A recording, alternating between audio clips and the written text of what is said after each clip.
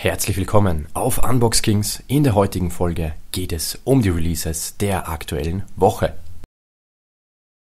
LaRusso established 1991. LaRusso wurde im Jahr 1991 in Dortmund geboren. Der Albumtitel ist somit treffend. Sein Debütalbum Contenance erschien im Oktober 2016 und liegt somit schon knapp drei Jahre zurück. Dass LaRusso nicht nur Rapper ist, kann man auf seinem Album hören. Es wird auch gesungen und bei dem Großteil der Beats hatte LaRusso selbst seine Finger mit im Spiel.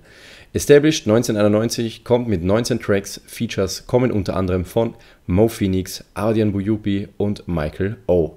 Das Album kommt über Warner Music Group Germany und erscheint als CD. Fabian Römer Lebenslauf das mit der Lücke im Lebenslauf ist vielen aus eigener Erfahrung bekannt. Fabian Römer hat diese Lücke mit in seinen Albumtitel eingearbeitet. Fabian Römer, viel noch besser bekannt unter seinem alten Künstlernamen FA, veröffentlichte 2015 sein letztes Album Kalenderblätter. Mehr als vier Jahre später steht jetzt das vierte Soloalbum an.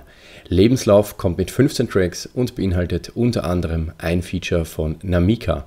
Das Album kommt über Jive Germany und erscheint als CD und auch als Vinyl. UFO 361 Wave im Juli 2018 verkündete UFO seinen Abgang aus der Deutschrap-Szene. Im August veröffentlichte er noch sein Album VVS und zelebrierte seinen Abschied mit der anschließenden Rest in Peace UFO 361 Tour.